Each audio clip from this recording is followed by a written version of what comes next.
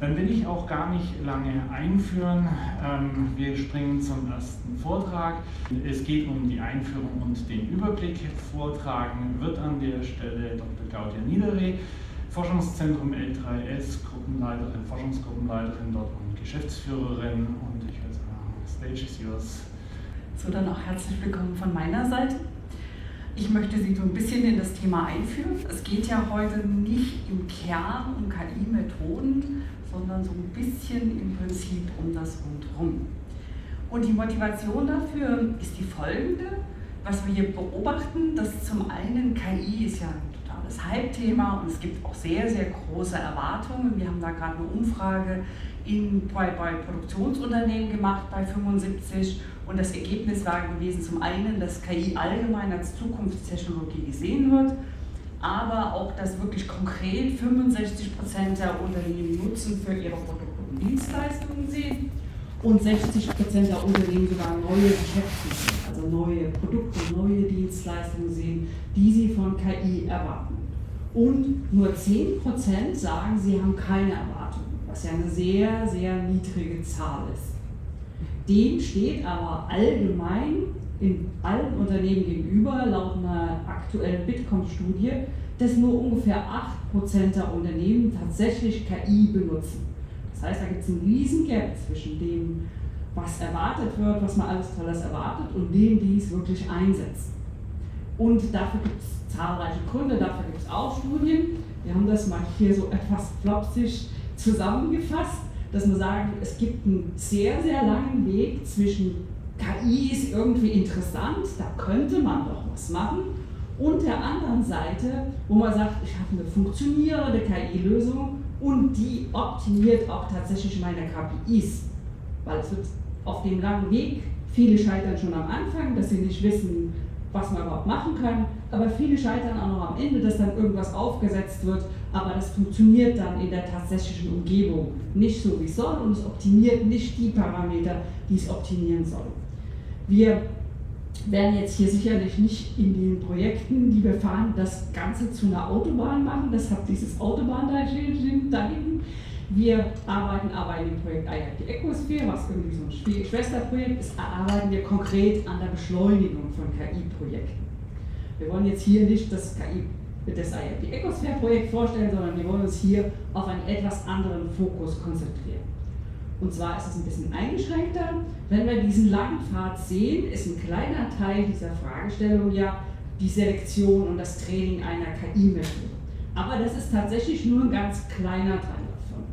Und die rundherum gibt es eine Menge anderer Themen, die auch berücksichtigt werden müssen. Das heißt, alleine wenn ich weiß, ich will Reinforcement Learning benutzen, habe ich noch nicht die Lösung, die meine Produktion optimiert, sondern da ist ein langer Weg und wir wollen uns das heute von verschiedenen Perspektiven angucken und haben dazu auch Vorträge zusammengestellt. Ausgeschlossen, was wir heute nicht so angucken, ist zum Beispiel Betrachtung von ökonomischem und praktischen Nutzen. Auch sehr wichtige Themen, aber die gucken wir uns heute nicht so an. Also die Frage, was hat das für Grund, auch Sachen wie Ideenfindung werden wir heute weniger betrachten und ausgenommen ist auch ein bisschen Fragen wie Mitarbeiterakzeptanz und Inbetriebnahme. Auch das sind wichtige Themen für KI-Lösungen, wo auch oft KI-Lösungen dran scheitern. Das haben uns auch Unternehmen schon gesagt. Wir haben dann diese tolle KI-Lösung, aber die Mitarbeiter wollen das nicht. Und dann wird das halt zum Teil auch einfach sabotiert. Weil man will das nicht, weil man Angst hat, es soll einen ersetzen. Und dann wird das im praktischen Betrieb auch sabotiert. Das heißt, es gibt auch da bei der Inbetriebnahme auch jede Menge Themen, die Mitarbeit zum Beispiel mitzunehmen und so weiter. Aber das wollen wir heute nicht weiter beladen. Ich wollte es nur so für ein komplettes Picture auch sagen, das ist nicht für alles, was wir heute machen, ist auch noch nicht das gesamte Bild, sondern das ist auch wieder nur ein ausgegriffener Anteil. Was wollen wir uns dann heute angucken? Wir wollen uns so vier Themenbereiche angucken, die so rund um, den, ähm, um diese Selektion liegen. Ganz zentral wird das ähm, Thema Software sein, das ist ja auch das Hauptthema. Also was gibt in KI-Entwicklung als Softwareprojekt zu betrachten, was für Software-Engineering-Methoden sind da anwendbar, was sind da auch noch offene Fragestellungen in diesem Bereich.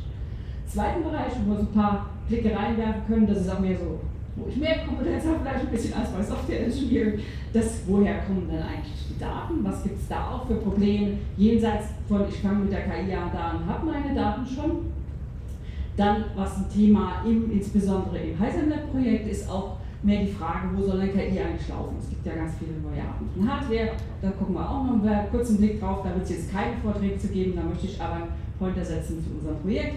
Und dann so auf dieser Seite, das geht ja so ein bisschen in Richtung Betriebnahmen, die Frage ist, wie komme ich denn eigentlich von der KI zur Autonomie? Das ist ein bisschen flapsig formuliert. Natürlich geht nicht jede KI eine Autonomie, sondern deshalb habe ich nochmal Entscheidungsunterstützung drunter geschrieben. Viele KIs gehen ja auch nur eine Entscheidungsunterstützung, machen nicht ein volles autonomes System. Gut, dann fangen wir mal an, kurzen Blick in das Thema, wo kommen denn die Daten her, anzugucken.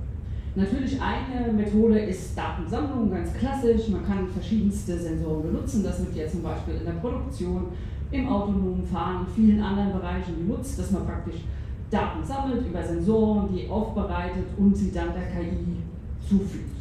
Da gibt es natürlich auch noch sehr viele Gaps dazwischen, aber das vereinfachen wir das jetzt. Und dann kann man natürlich auch Daten über Benutzer sammeln und über Transaktionen, zum Beispiel macht man über Versicherungen oder so, die ja auch KI einsetzen, Kreditvergabe, wo man einfach Daten über Benutzer sammelt. Ein anderes Beispiel wäre natürlich auch Videoüberwachung, da fallen ja auch jede Menge Daten an, die natürlich auch mit KI verarbeitet werden müssen. Und da könnte ich eine endlos lange Liste machen. Wir wissen alle, dass heutzutage sehr, sehr viele Daten gesammelt werden und dass die auch für KI-Anwendungen der verschiedensten Art genutzt werden. Deshalb ist es auch immer sehr schwierig, ganz allgemeine Aussagen zu machen, weil das Feld halt sehr divers ist. Und dann gibt es natürlich das Thema Daten, Datenaggregation, Kombination. Das ist auch super wichtig. Wir arbeiten jetzt zum Beispiel viel im Umfeld von Produktion und da ist es halt super wichtig, dass man nicht die rohen Daten benutzt, sondern die werden dann erstmal über fünf Stufen gematcht, gemappt, bevor man überhaupt irgendwas hat, wo man in irgendeiner Form sinnvoll KI drauf packen kann.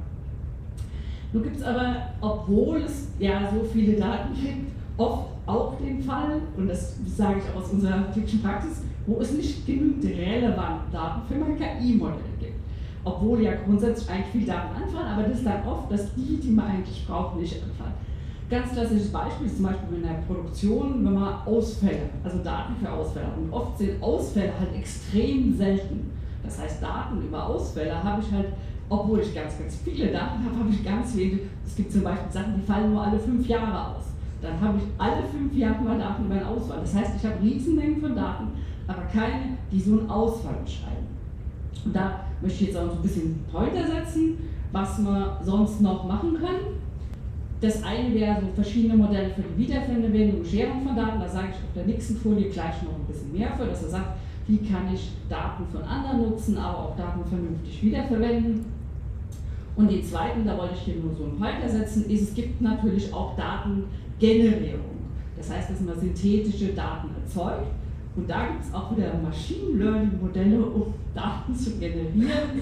Da benutzt man in, insbesondere Generative Adversarial Networks, wo praktisch das eine Netzwerk Daten erzeugt und das andere versucht festzustellen, ob das synthetische oder echte Daten sind und damit lernt, die synthetischen und die echten Daten möglichst ähnlich zueinander gemacht. Mal ganz grob zusammengefasst. Das ist in der Realität natürlich noch um einiges komplizierter und es ist auch verschieden kompliziert für verschiedene Arten von Daten, aber da gibt es inzwischen auch schon einige Methoden, die man benutzen kann. Das geht natürlich für bestimmte Anwendungen besser, für andere weniger. Dann wollte ich ein bisschen was noch zum Data Sharing sagen. Wiederverwendung Daten ist ja an sich auch ein plausibler, plausibles Thema und das ist insbesondere dann ein Thema, wenn die Daten nicht bei dem Unternehmen anfallen, das davon profitieren könnte. Wenn ich zum Beispiel Maschinen baue und die ausliefere, also Maschinenbauer und die ausliefere, dann fallen die eigentlichen Daten beim Nutzer der Maschine an. Interessant werden die aber beim Maschinenbauer, um die Maschine zu optimieren. Und da gibt es halt da schon Interessen, der, der Anwender sagt, warum soll ich dir die Maschinendaten geben? Ich stell, gebe mein IPA frei, außerdem habe ich da ja auch gar nichts von so direkt jetzt mal. Das heißt, da gibt es oft, dass, dass es nicht so klar ist, wie man wieder verwenden kann. Es gibt insgesamt eine mangelnde Bereitschaft der Unternehmen. Wir haben auch in der Umfrage, das war jetzt wieder für die Produktion, sagen 66 Prozent der Unternehmen, unsere Produktionsdaten dürfen das Unternehmen definitiv nicht verlassen. Da habe ich auch schon in anderen Projekten gehört, wo es hieß, da muss man wurde der Raum abgestimmt, wo die Daten sein dürfen. Also da gibt es ganz, ganz strenge Vorstellungen, wie das IPA ist und wahrscheinlich auch mit Berechtigung. Es gibt auch halt noch eine relativ unklare rechtliche Situation, was den Datenbesitz betrifft, was das natürlich nicht unbedingt erleichtert. Dann gibt es aber auch Ansätze, da wollte ich auch darauf hinweisen, die Nutze, Nutzung zu kontrollen, die sind aber auch noch ein bisschen in den Kinderschuhen, weil man natürlich auch das Problem hat, wenn ich jemand anders die Daten für irgendwas Bestimmtes gebe, sobald ich ihn die ausgehändigt habe, habe ich ja keine, eigentlich keine Kontrolle mehr darüber, was der wirklich damit macht. Und das ist so, da versuchen zu Protokollen, Verträgen oder auch technische Lösungen zu kommen. Da wird dran gearbeitet, aber ich sag mal, das ist noch sicherlich ein langer Weg. Da gibt es beim International Data Space und bei GaiaX gibt es Bemühungen in diese Richtung, zu sagen, wie kann ich kontrollieren, dass jemand, dem ich die Daten gebe, mit den Daten auch tatsächlich nur das macht, was vertraglich vereinbart. Und ein anderes Thema auch, wo wir auch im IRP Ecosphäre müssen wir arbeiten, ist die Bewertung von Daten. Wenn ich Daten austausche, wie viel sind Daten denn wert für ein KI-Modell? Da gibt es auch Maßmengen-Dings, aber da ist auch noch viel zu tun, zu sagen, kann ich, wenn ich so ein Paket Daten kriege, wie kann ich bewerten, was das wirklich für mich wert ist. Dann wollte ich nochmal ein bisschen in eine andere Richtung für Datensharing gucken. Das ist föderiertes Lernen. Und das adressiert eigentlich genau dieses Thema, dass man sagt, ich will, bin eigentlich bereit, Daten zu scheren. Und was man da macht, anstatt die Daten zu scheren, da habe ich mal das Bild aus dem Paper entnommen, da wollte ich jetzt kein eigenes Mal, weil es auch ganz gut ist. Also ich habe drei Icon oder hier eine Menge von Icon, hier sind es nur drei, die Punkte sind noch mehr, die alle Daten haben, die von der gleichen Art sind. Das muss man auch sagen, die müssen praktisch die gleichen Phänomene beschreiben. Und was dann gemacht wird, es werden lokale Modelle bei jedem Anwender gelernt und ausgetauscht wird mit einem, über einen zentralen Trusted Server, werden nur Modellparameter. Das heißt, ich tue Wissen über das Modell, aber nicht die Daten selbst austauschen und würde dann das abgedatete Modell wieder nach außen verteilen. Das ist, was wir beim föderierten Lernen machen, ist momentan auch ein relativ researches Gebiet, also viel Research wird da auch momentan gemacht. Es gibt auch schon erste Frameworks, wie zum Beispiel das FlowerDev. Da gibt's, das ist halt insofern gut, weil ich halt tatsächlich profitieren kann von anderen Leuten Daten, ohne das Modell auszutauschen. Es ist aber auch so, und das ist, glaube ich, einfach allgemein gekannt, dass natürlich das Modell selbst auch viel Information über die Daten enthält. Das heißt, da gibt es tatsächlich auch Sicherheits- und Privacy-Problems. Daran wird auch gearbeitet, wie man sozusagen verhindern kann, dass ich anhand der Modellparameter, die reinkommen, weiß, was der andere für Daten hat. Das, das ist sicher ein Thema. Und auch hier ist mit der Bewertung des Beitrags natürlich ein Thema, wenn ich das mit mehreren zusammen machen will, ist dann eventuell auch irgendwann über Kompensation gesprochen und dann muss man auch wissen, auch dafür gibt es Ansätze zu sagen, wie wie hoch ist der Wert der Daten, die ich in so ein föderiertes Lernsystem, in so einen Rahmen einbringe. Und dann wollte ich nochmal einen dritten Punkt, das ist eigentlich kann man das hier direkt anschließen. Oft ist das natürlich mich so, wenn ich von den Daten von jemand anders lernen will, dass die Situation nicht ganz gleich ist. Und dann kommen wir zu dem Thema von Transferlearning. Da geht es halt darum, dass ich sage, ich lerne von Daten oder eher gesagt, ich nutze ein Modell eigentlich eher was in einer ähnlichen Situation gelernt worden ist. Das heißt, dann muss ich halt noch Abbildungen machen, um das Modul nutzen zu können. Der Vorteil ist halt, wenn ich ein sehr variantes Umfeld habe und ich will sozusagen für die Gesamtmodelle halt nicht so viele Daten habe, dann kann ich das sozusagen nutzen. Dafür davon wir mal von Herrn Lisbrock von Lenz einen Vortrag hören, die das nutzen, um halt ihre Betriebemotoren qualitätszusichern, weil die halt eine sehr variantenreiche Produktion haben und da es halt nicht so ist, dass man für jede Variante ein Modell lernen kann, sondern gucken kann, welche Getriebemotoren verhalten sich in dieser finalen Qualitätsprüfung ähnlich, also was sind da die Parameter und dann zu gucken, wie kann ich dann Modelle transferieren, was ich sozusagen schon gelernt habe, wiederverwenden. Dass ich halt weniger Modelle habe, als ich Varianten habe. Da werden wir da mehr zu hören. Im Prinzip ist es aber auch auf jeden Fall ein spannendes Forschungsthema. Gut, soviel zu den Daten. Dann gehe ich jetzt zum KI-Lösung als Softwareprojekt. Ich hoffe, die haben vom Software Engineering springen mich jetzt nicht gleich ab. Das ist immer ungünstig, wenn man vor den Experten präsentieren muss. Die Frage ist, also ich habe einfach mal so ein paar Fragen zusammengestellt. Das eine, was ich halt sehe, was definitiv ein Thema ist, wie fügt sich eigentlich das Training von KI-Modellen in die Softwareentwicklung ein. Ich habe da ja zwei Paradigmen. Zum einen programmiere ich der Verhalten und zum anderen lerne ich Verhalten. Da habe ich ja sozusagen eine Schnittstelle. Wie kann ich zwischen den beiden sozusagen vermitteln?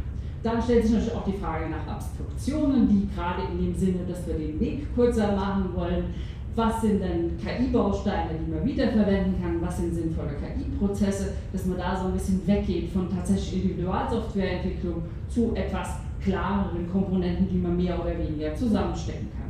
stellt sich auch die Frage nach geeigneten Architekturen, weil ich ja Daten zuführen muss, prozessieren. Ich habe eine Lernumgebung und eine Test- und Trainingsumgebung. So, da gibt es halt viel Denken. Und dann gibt es halt auch die Frage, was gibt es da Best Practice? Gibt es vielleicht auch Pattern für KI-Lösungen? Das ist ja in Software Engineering sehr beliebt, Pattern zu haben. Was könnte man da machen? Die Frage stellt sich auch nach geeigneten Entwicklungsumgebungen, weil ich natürlich so zwei Arten von Vorgehen habe. Ich habe dieses explorative Lernen mit Modellen, Entscheiden, Parameter-Tuning und so weiter. Aber ich habe auch das Programmieren und eigentlich wäre es ja auch schön, wenn das in der gesamten Umgebung wäre.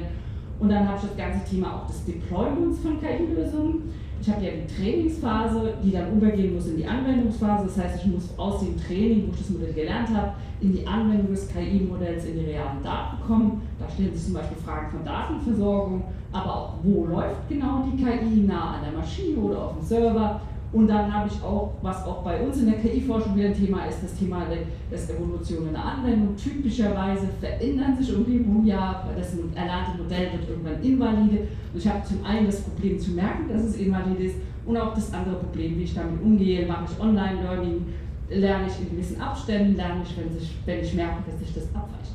Im Bereich Software Engineering haben wir drei Vorträge heute. Das eine wäre zu SE-Herausforderungen durch KI-Wendungen und wie man ihnen begegnen kann. Das wird vorgetragen von Herrn Schmidt und Herrn Eichelberger von der Universität Hildesheim. Dann würden wir ähm, einen zweiten Vortrag haben von Herrn Tinkenberg von RapidMiner, die ja eher in, der, in den KI-Umgebungen unterwegs sind, auch in der KI-Entwicklung. Da weiß auch, dass Sie da gerade für die Fragen wie Deployment und so auch einige Antworten haben und der würde vortragen über künstliche Intelligenz und maschinelles Lernen in der industriellen Produktion, würde da aber Anwendungsbeispiele für die Generierung von Mehrwerten aus Daten sprechen. Und Herr Haldewang von Slashway, die auch in der Entwicklung unterwegs sind, KI-Entwicklung, würde was vortragen über Predictive Operative in the Wild. Gut, damit verlasse ich das Thema Software, da wird es ja auch noch jede Menge Details zu geben. Dann ein paar ganz kurze Dings zur, wo soll die KI laufen es gibt ist ja momentan haben wir schon eine Situation, dass es sehr viel neue Hardware gibt, die auch spannende neue Sachen ermöglicht, wie zum Beispiel die GPUs und die TPUs, ohne die realistische KI-Anwendung im Sinne von neuronalen Netzen überhaupt nicht möglich wäre, weil man dazu einfach für diese Riesennetze Riesenkapazitäten braucht, wie zum Beispiel für Deep Learning. Dann gibt es natürlich auch Edge Computing, das die Möglichkeit bietet, KI sehr nah an die Maschinen zu bringen und damit halt auch Sachen möglich macht, Steuerung Sachen sehr datendicht an der Maschine, auch schnellere Steuerungen möglich macht. Und dann ein drittes Thema ist, sind die FPGAs, also programmierbare Arrays, die hohe Energieeffizienz erweisen und auch sehr hohe Produktivität, aber halt eher für speziellere Anwendungen sind. Und hier als Wort of Caution, die Programmierung ist da eine echte Herausforderung, weil es halt eine ganz andere Art Denkweise ist, die man dafür braucht. Herr Eichenberger kann da, glaube ich, auch von berichten. Er hat auch mal einen Kurs gemacht das ist halt schon eine ganz andere Welt, in die man eintauchen muss. Da muss man genau wissen, was davon ist geeignet. Sie sind aber natürlich unheimlich wichtig, weil sie relativ kompakt sind und werden auch in vielen Bereichen, zum Beispiel auch in der Mobilität eingesetzt, solche Sachen. Das ist auch eine kommende Technologie. Da will ich jetzt auch gar nicht so viel mehr dazu sagen. Da wollte ich nur hinweisen, das Projekt, das ja in dem Rahmen dieses Projekts stattfindet, ähm, das Heisenberg-Projekt bringt ja diese, genau diese drei Themen KI, Software Engineering und Hardware zusammen und versucht da sozusagen gemeinsamen Weg zu identifizieren. Dabei konzentriert sich das Projekt nicht auf Forschung, sondern eher auf Qualifizierung und praktisch zusammen die, das, ja, in die Lage zu versetzen, effektive und effiziente KI-Anwendungen zur Realisierung und der Veränderung von modernen Software-Engineering-Methoden und der Ausnutzung moderner Hardware-Architektur. Das heißt sozusagen diese gemeinsame Kompetenz, die in der Universität gerade oft auch sehr, sehr separiert vermittelt wird. Also oft bilden sie Data Scientists aus, sie bilden Software-Engineer aus und Leute, die mit Hardware umgehen können, aber es ist nicht unbedingt das sehr so diese Cross, diese Verlinkung, die Abhängigkeiten werden halt wenig berücksichtigt. Dann noch ganz kurz von der KI zur Autonomie, damit ich meine Zeit auch nicht allzu sehr überziehe, ist, ähm, da geht es darum, wie man halt letztendlich, wenn ich die KI-Methode fertig habe, wie ich das dann auch in größeren Systemkontext einbinde. Natürlich wird in vielen Dingen, wenn Sie jetzt Ihren Algorithmus haben, Ihren Deep Learning-Algorithmus, das wird ja nicht, der wird ja nicht so separat benutzt, sondern der wird mit vielen anderen Sachen kombiniert. Denken Sie zum Beispiel ans autonome Fahren, da gibt es ganz, ganz viele Sensoren, ganz, ganz viele Sachen, wo KI angewendet wird. Und im Endeffekt, damit das, das End des Auto allein fährt, wenn sie es dann mal irgendwann tun, ist es halt nochmal ein langer Weg. Und da wollte ich nur so auf ein paar Themen hinweisen, die dabei eine Rolle spielen, neben diesem komplexen Systemkontext und dass man natürlich die Unsicherheiten, die verschiedene KI-Modelle mit, mitbringen, auch dann da kombinieren muss in einer vernünftigen Weise, dass man eventuell auch die Situation hat, dass verschiedene KI-Modelle Verschiedenes sagen und man dann eine Entscheidung dazwischen treffen wird, gibt es halt auch ein wichtiges Ding bei den automatisierten Entscheidungen, das halt nochmal ein bisschen ganzheitlicher zu betrachten, nämlich so Themen wie Nachvollziehbarkeit und Erklärbarkeit, was zum Beispiel bei der Umfrage 90% der Unternehmen für ein sehr wichtiges Thema gehalten haben. Dann Fragen von Fairness und Bias, da gab es ja auch eine Menge Presse zu dem Thema, dass man sagt, man kann in der KI beliebige Mengen an Bias einführen. Man lernt insbesondere typischerweise auch den Bias der unterliegenden Daten, was insbesondere, wenn man über Menschen entscheidet, wichtig ist, dann ganz genau einen Blick drauf zu werfen, dass man dann nicht sozusagen die in den Daten inkodierten Bias einfach übernimmt und die in die KI-Entscheidung wieder rein dann automatisiert auch. Und dann natürlich das gesamte Thema, wenn autonom gehandelt wird, was bedeutet das, was bedeutet das für Haftung und auch solche Sachen. Geht dann so ein bisschen in dieses Thema verantwortungsvolle KI. Und dann ein anderes Thema ist natürlich auch die Interaktion von Menschen Mitmenschen, also zu sagen, wenn die KI agiert und die, KI und die Menschen agieren, was sind da die Schnittstellen? Das hat viele auch wieder thematisch, da hat man den Roboter, wie agiert man da? Aber man hat auch die Frage, wenn es zum Beispiel die KI-Systeme immer komplexer werden und immer mehr selbst lösen, dann ist es, wenn der Mensch eingreifen muss, dann typischerweise schon Super-GAU. Und dann ist es für Menschen natürlich sehr schwer einzugreifen, wenn, wenn er so gar nicht mehr dieses Prozesswissen hat und weiß, was da eigentlich passiert ist, ist ja ähnlich wie bei autonomem Fahren, dass auch das Auto, man kann sich dann, braucht da nichts zu machen, bis es ein Problem gibt, wo die KI nicht mehr weiter weiß. Und dann hat aber ein Mensch typischerweise das Problem, wenn ich mich dann zwischendrin mit dem und jenem beschäftigt habe, dann plötzlich zu sagen, hey, jetzt musst du übernehmen und bin aber überhaupt nicht in der Situation drin. Also so, auch solche Sachen, das muss man sich halt auch angucken, das gehört halt auch zur Autonomie dazu. Also es ist halt auch so ein interdisziplinäres Thema, wo auch ja einiges an Forschung stattfindet. Um das abzuschließen, äh, dazu gibt es ähm, zwei Vorträge von Herrn Beuter von Bosch, der wird über Advantages und Challenges using AI for Autonomous Driving sprechen. Und dann das zweite Thema wird sein Moving Machine Learning Projects into Production with Interdisciplinary Teams. Das wird Herr Kästner sein von der Carnegie Mellon University. Dann werden wir das so ein bisschen abrunden. Und das war es dann auch von meiner Seite. Dann danke ich für Ihre Aufmerksamkeit und wünsche Ihnen viel Spaß bei den Vorträgen.